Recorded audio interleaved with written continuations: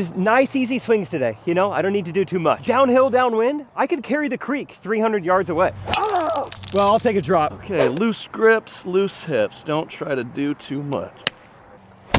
Oh! Hit the bigger ball first.